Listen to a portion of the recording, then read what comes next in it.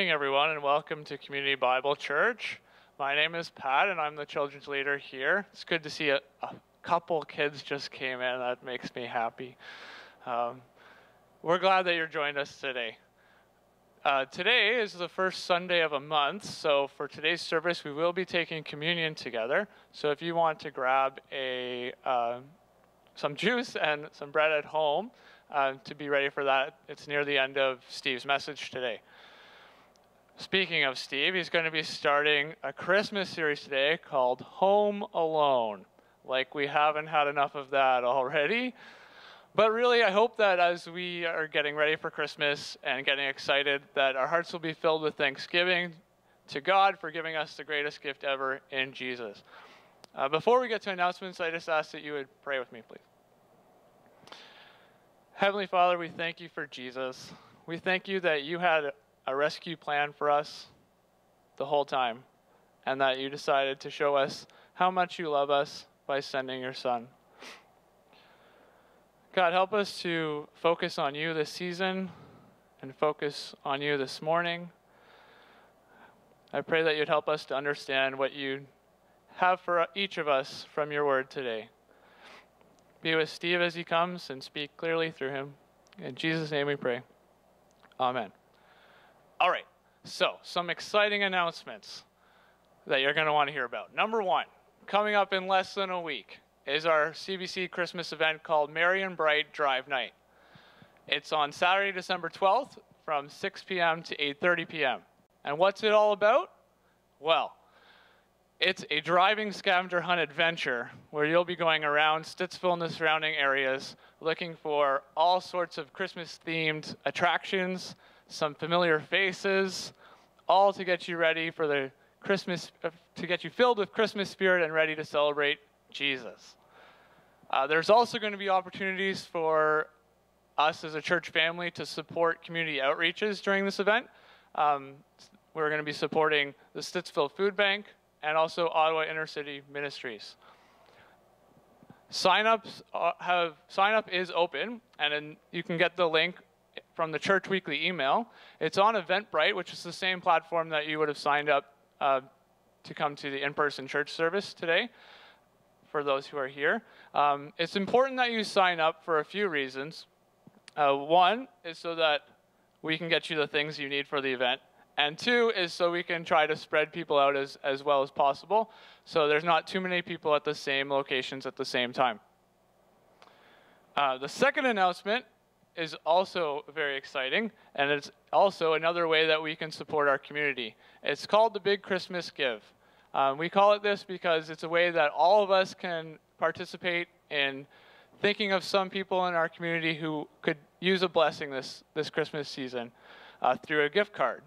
So these gift cards will be available for pickup during the Merry and Bright event coming up at one of the locations, as well as on Sunday the 13th and the 20th after the service from 11 to 12. You can pick them up here at the church.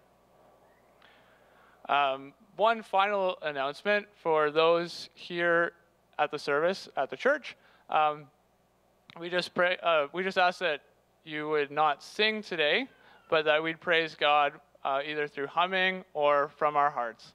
Uh, we have some Christmas music worship coming up for you now. Enjoy the service.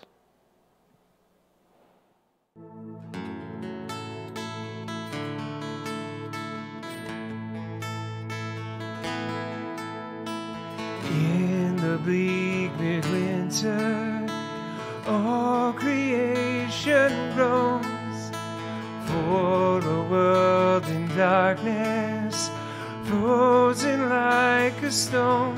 Light is breaking in a stable for a throne. He shall reign forevermore, forevermore. And he shall reign forevermore, forevermore. Unto us a child is born, the King of shall reign forevermore, forevermore.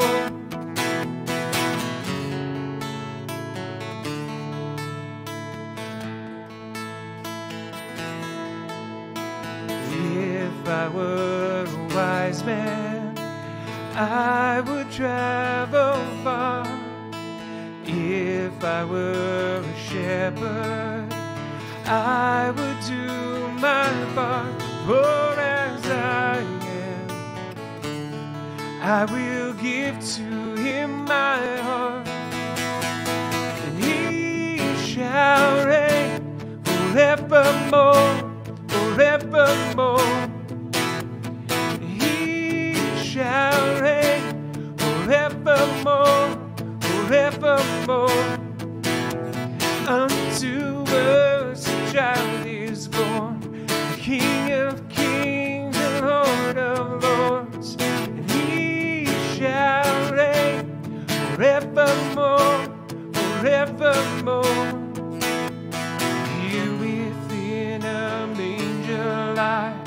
One who made the starry skies. His baby born for sacrifice. Christ the Messiah into our hopes, into our fears. Savior of the world appears.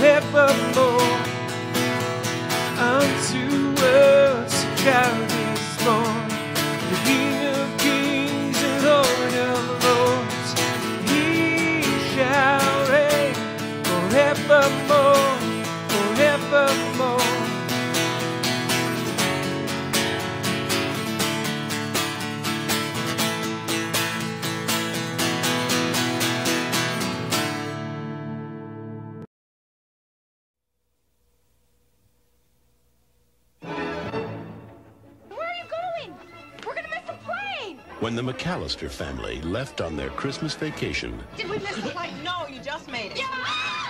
they forgot one small thing. Have yourself I have a Terrible feeling. Christmas. Did you lock up? let yourself be light. Do we set the timers on the lights? Mm-hmm. What else could we be forgetting? Our troubles will be ours. Kevin! Home alone. Police in the northern suburbs are on the lookout for a pair of burglars who are calling themselves the Wet Bandits. We know that you're in there. It's Santa Claus and his elf. Get off my property. Is my house. I have to defend it. Where's your mother? My mom's in the car. Where's your father? He's at work. What about your brothers and sisters? I'm an only child. Where do you live? Can't tell you that. Why not? Because you're a stranger. He's a kid. I mean, what can a kid do to us? Kids are stupid. I know I was. You still are, Marv. This is it. I don't care if I have to get out on your runway and hitchhike. I am going to get home to my son. Yes! Ah! Where are you, you little creep? I'm gonna kill that kid! Why'd you take your shoes off? Why do you dress like a chicken? Gus Polinski, Polka King of the Midwest. If you have to get to Chicago, we'll gladly drive you. Hey, guys. Yesterday, he was just a kid. But tonight, he's a home security system. You guys give up or you're thirsty for more? From John Hughes, You know, I got a feeling this is going to be your best Christmas ever. a family comedy without the family. Home Alone. Are you here all alone? I'm eight years old. You think I'd be here alone? I don't think so. Directed by Chris Columbus, coming November 16th.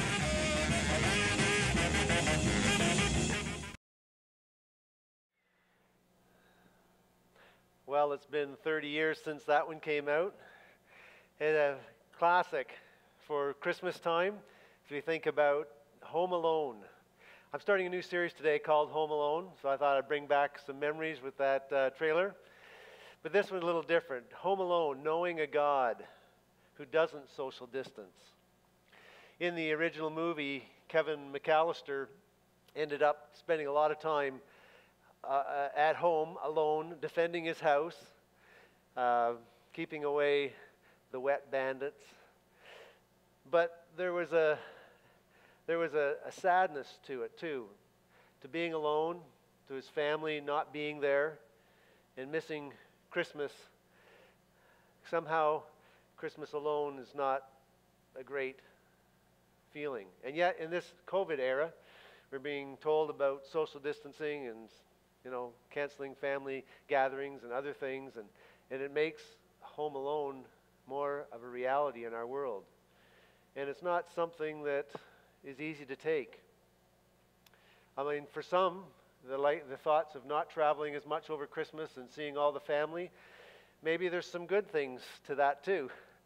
Uh, and, and I found that the whole COVID thing has kind of a mixed bag, doesn't it? I mean, there's things that are good about it and some not so good things. I remember when it first hit, my big frustration was that um, th- th- that I had a family trip canceled. We had planned to to travel to see um, my two boys who are living over uh, in Hawaii, and the plan was to, to go and see them. And my and and a week before I was to leave in March, everything got canceled on me. So I was not very happy. Fortunately, I just got to do that vacation just recently, and we were able to make it happen. So that was very excited, exciting, and I'm back, and I'm feeling free. This is my first Sunday out of quarantine, so it feels good to be back and, and free again. But when we, you know, when we think of COVID, there's, there's certainly been some frustrations, there's been some difficulties, and there's definitely been time alone.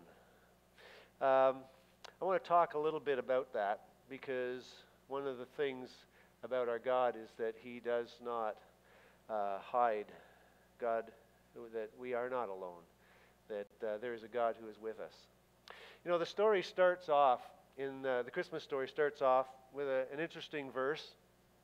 It says in Luke chapter 2 and verse 1, it says, In those days, in those days, so this is a historical event back in history. In those days, Caesar Augustus, one of the great Caesars, one of the main rulers, in fact, this was the, the, the peak of Roman power in the world. They were a world dominating force. And Caesar Augustus was leading that. So in those days, Caesar Augustus issued a decree or a law, a command that a, a census should be taken of the entire Roman world that a, a decree should be taken uh, and a census, uh, that a census should be taken. So, why would he do that? The speculation is well, perhaps he did it for a sense of pride, wanting to know how many subjects he had in his dominion, in his kingdom, how many people were under him. But maybe it was for taxation purposes also, right? I mean, taxation purposes would be uh, uh, they wanted to make sure they had accounting of everybody and make sure everybody was paying their taxes to the Roman Empire. So it starts off with this position of this statement of power as we look at this world dominating power. But for the Jew, for the Israelite living in Israel, the underlying feelings that go with this verse are some of feeling forgotten, of feeling abandoned, of feeling alone. Like, where is God? We're under this foreign power. We're paying all these taxes and we're subject to this foreign authority. Where is God? And so they were feeling some of this, this sense of loss and this, this sense of, of forgottenness. I mean, it had been 400 years in between the Old and New Testament where there had been no prophet, there had been no word from God, and they were just waiting. Where is God? They're feeling alone, desiring to be freed. I was, I was quarantined for two weeks and getting antsy. I mean, they, are for years they're living under the slavery of this foreign power, feeling alone. And where is God? And then an angel broke in with an announcement about a baby, and another one, and another one, and, and, and appearing to uh, Zacharias and, and Mary and, and Joseph, saying that there were babies on the way, that the Messiah was on the way, he was coming.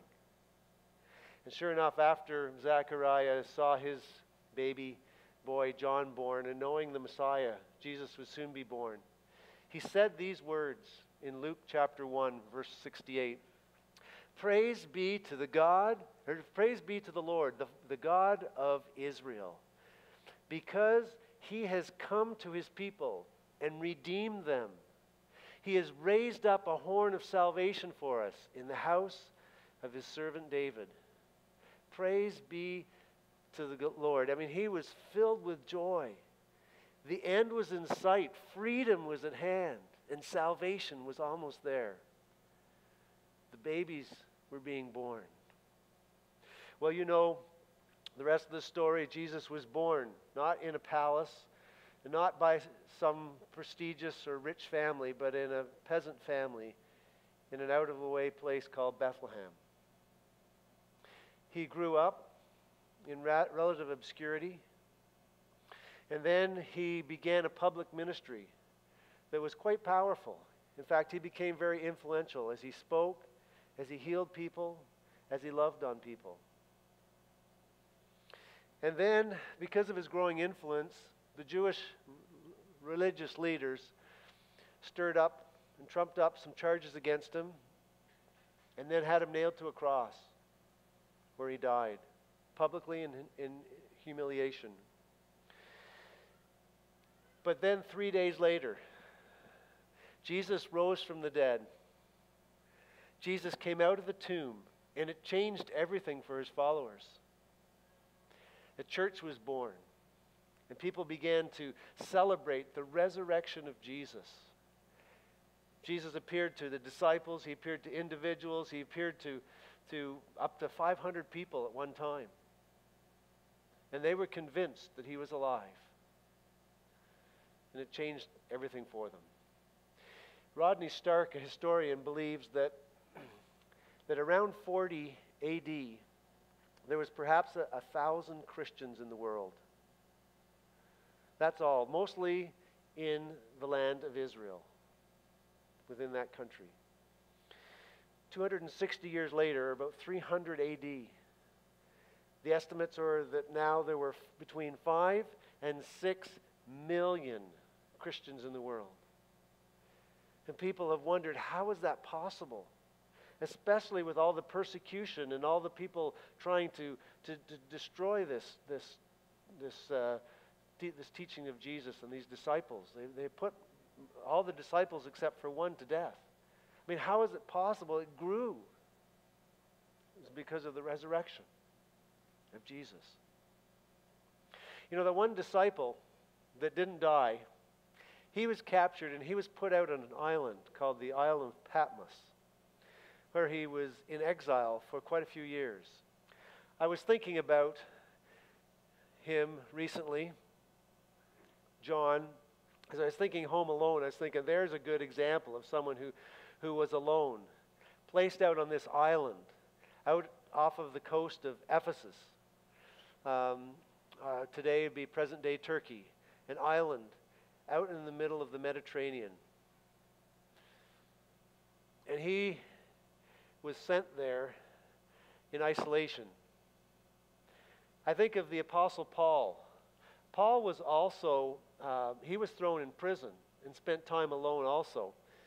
But Paul, it was a little bit, um, a little bit different. He had at least guards around him. He could, he could talk to them. In fact, it says in, in Philippians that the, the gospel started spreading throughout the guards. M- maybe that's why they decided not to, you know, throw John in prison because these apostles were just telling everybody about the gospel. So they stick him on an island where he can't tell anybody. He's alone. And think about it the church is growing exponentially. Thousands of people, millions of people eventually, becoming followers of Jesus.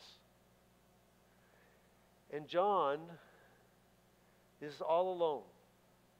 He can't even participate, he can't even celebrate with people.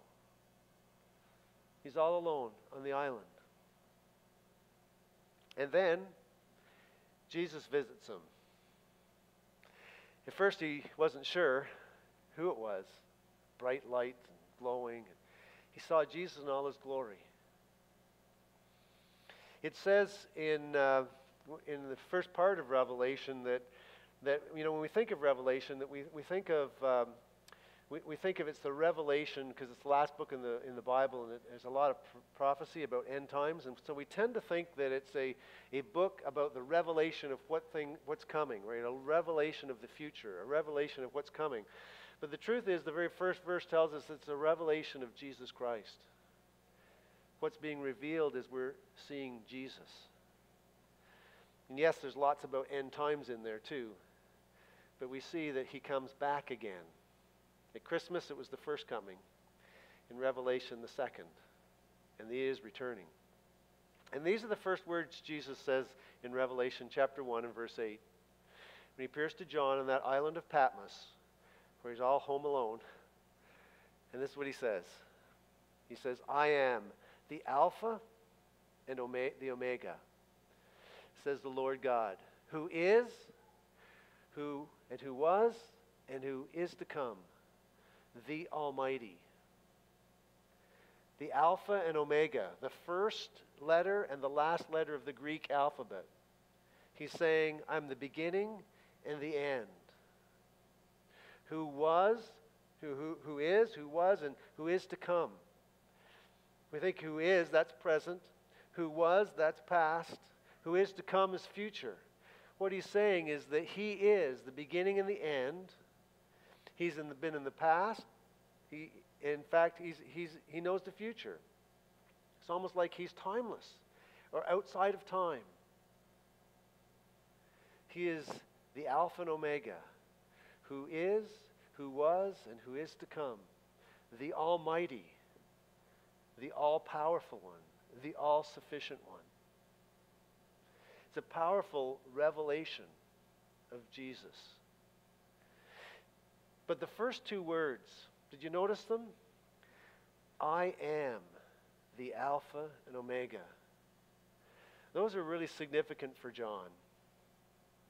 John wrote that, recorded Jesus' words, but he was the one who recorded a lot of other statements that Jesus, where Jesus said, I am. In fact, in his book that he wrote earlier, the book of John, the gospel story of Jesus, he has seven metaphors of, that he records that Jesus said.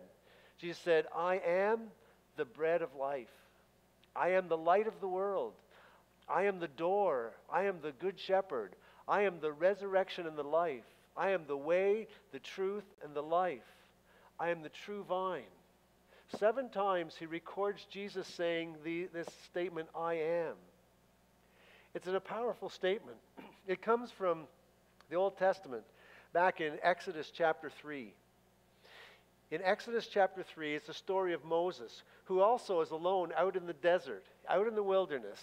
And, and he sees this burning bush, and he goes to inspect it, and God speaks to him out of the burning bush and says, I want you to go to, uh, back to Egypt, and I want you to tell Pharaoh to let my people go. And Moses' question, he has a few of them, but one of his questions is, well, who do I tell them has sent me? Like, who, who is it that's telling me to go? What do, I, what do I call you? And God responds and says, I am. Tell them, I am is sending you. I am. I am present. I am I always exist. I am sufficient. I am, he says, has sent you. That word, when the Greek translators moved that into Greek, they used the little words ego eimi, I am. And John uses them over and over again he discusses who Jesus is. Actually, there's more I ams in the book, too. There's another significant one when uh, Jesus is being arrested. Judas comes up and kisses him, indicating that this is the one you're to arrest because the soldiers are there. And as they move towards Jesus, Jesus says to them, He says, Who do you say that I am? Or, or no, He says, who, who, are you looking for? Wrong question. who, who are you looking for? And they said, Jesus of Nazareth, which is interesting. Most people in those days would go by, you know, Jesus, son of Joseph, or whatever they would call him. But, but knowing that Jesus um, you know, was known as Jesus of Nazareth, I think some people knew that his biological father was in heaven. He wasn't just the son of Joseph, right? Jesus of Nazareth, that's who we're looking for. And Jesus' response is, Ego eimi. I am he. I'm the one you're looking for. In fact, when John records this, he says that the soldiers actually, when Jesus said those words, I am, the soldiers fell to the ground. Some people have just said out of reverence for the name I am, the Old Testament name of God. But these are Roman soldiers. I'm not sure they would have fallen back because of that. But maybe there was power in the name being spoken. I am. I'm the one you're looking for. There's another incident, too, in uh, John chapter 8 when Jesus was having a debate with the religious leaders and they were questioning where his authority came from. And some even said, This guy's from Satan himself. And then they get into this discussion about um, Abraham. And, and the Jewish uh, leaders are quite proud of their heritage and that J- Abraham is our ancestor and our descendant. So they're making a, a big deal about we're sons of Abraham. And, and Jesus jumps in and says, You know, before Abraham was, before Abraham was, I am. And, and when he said that, they, the, the Jewish leaders has picked up stones and were ready to throw them at Jesus because they knew what Jesus was claiming that he was the Son of God. He was the great I am. And it enraged them that Jesus would call himself the Son of God. There's power in those words. When I see those words, I am, let me define it this way it, it's the immediate presence of God in time and space. Doesn't matter if it's the past, the God who was, the God of the present, the God of the future. Jesus says, I am, ever present, in any age, in any time. I am present. The immediate presence of God in time. I am the Alpha and Omega, the beginning and the end. The immediate presence of God in time and in space. Doesn't matter where you go, how far you run. It doesn't matter if you're on an island out in the middle of the Mediterranean or whether you're in a manger in Bethlehem. It Doesn't matter if you're in Jerusalem or in Ottawa or you're home alone. God is there. Because the immediate presence of God in time and space means that we have an all sufficient, all powerful, almighty God who's present. I am. John recorded it this way. You know, each of the people had their account of how Jesus was born, and, and Matthew and, and Luke had quite a bit to say. John had simplified it, took a very different approach, and this is what he said about Jesus' birth. He said, The Word became flesh. The Word he had already established, the Word was God. The Word became flesh and made his dwelling among us. He came and he lived among us. He was with us. The Word became flesh, took on flesh and blood, and came and lived among us. And Jesus himself said, Where two or three are gathered, there I am in their midst. I'm with you. He said, um, actually, the writer of Hebrews said, Then fix your eyes on Jesus. In a spiritual way, we, we focus and say, Jesus, I know you're there. I know you're with me. We can talk to him. We can hear from him, usually through his word when we, we read that. We communicate with him. The Word became flesh. He's with us and dwelt among us.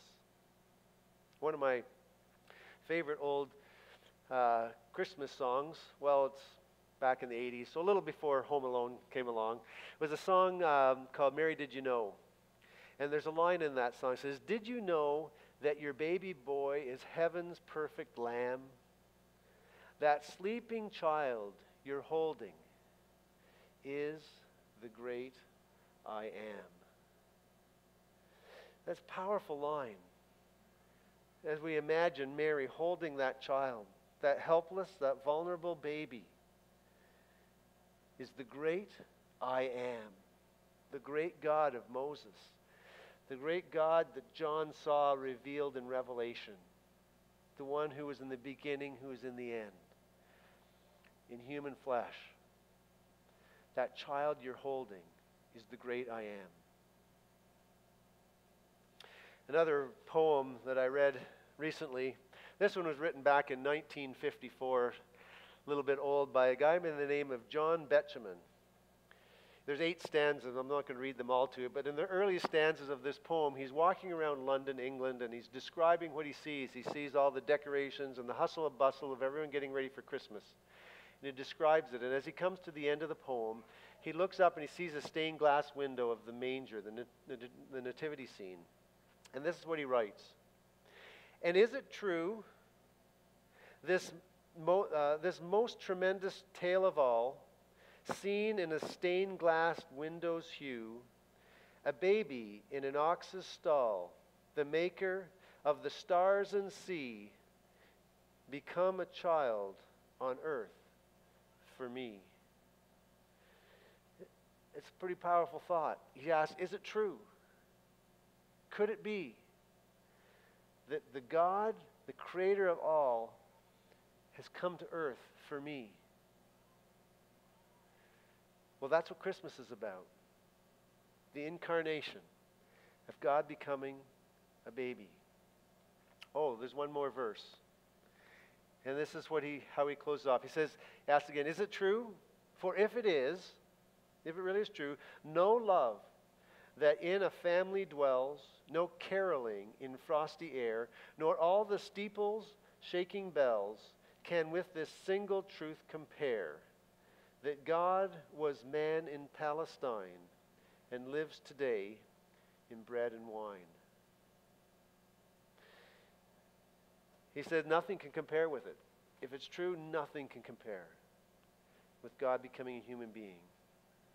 And then he establishes the fact that God was man. He became a human being in Palestine, but lives today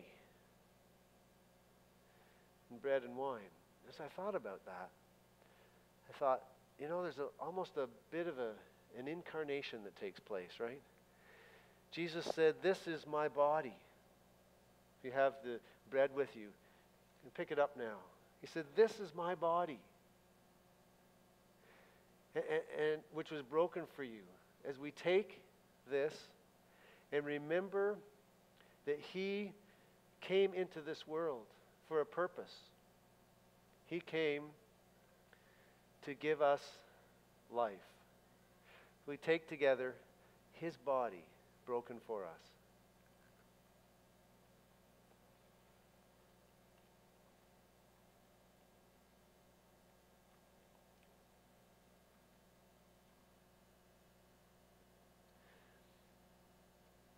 And then there's a, a cup. He took the cup and said, This this is a this is he says, This is my blood shed for you. It's a new promise, a new covenant of forgiveness that comes through this blood that was shed on the cross. But when he said, This is my my body, this is my blood, in a way, he's symbolically um, present here with us. Just as he came into the world at Christmas time, physically, we have a semblance of him, remembering his body and blood. He's present. He's present here with us. And he reminds us of his presence when he says, This is my body, this is my blood. Let's take together.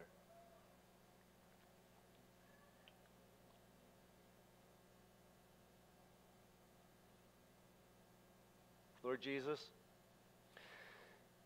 I want to thank you for coming into our world. You came with a purpose. You came to reveal God to us but you also came to die on a cross. You came as a humble baby, and next time you'll come in your glory. John got a glimpse of that. You are the great I am. And we just want to worship you as the Almighty God, the creator of the heavens and the earth. We also want to say thank you for loving us.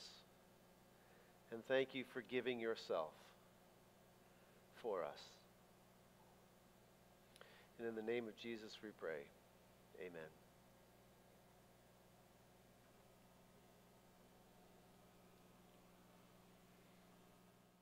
Father's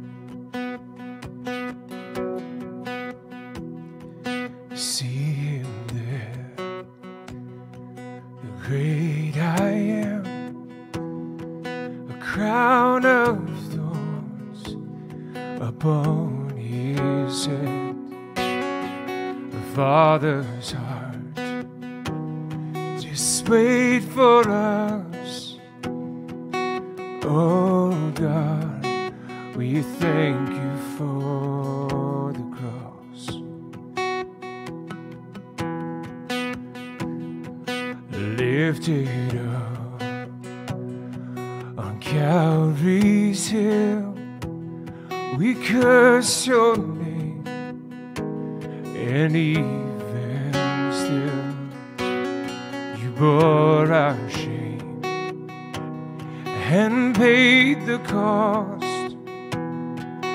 Oh God, we thank you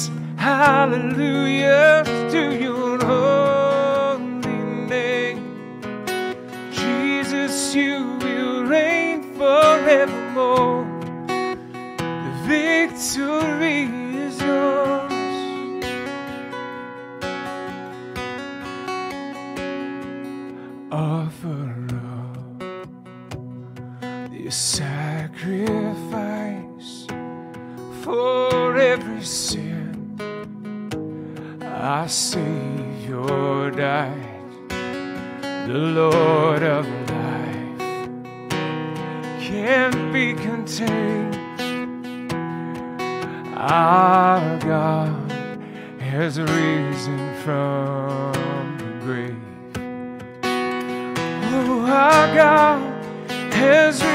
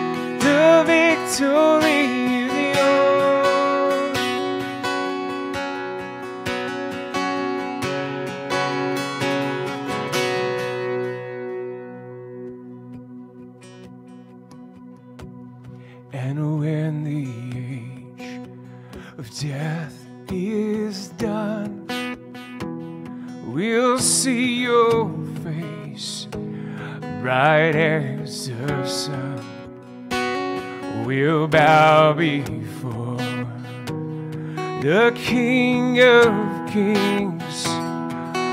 Oh God,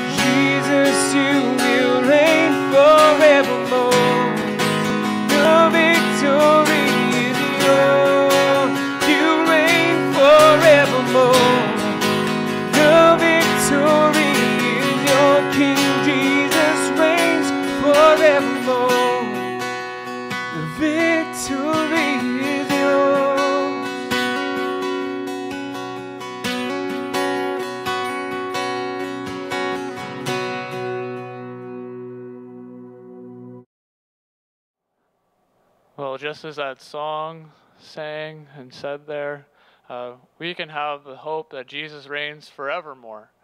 Um, so as you go this week, I hope that uh, you will have that confidence, that hope with you, and know that He's always with you wherever you go to. We hope to see you Saturday night. Have a great week.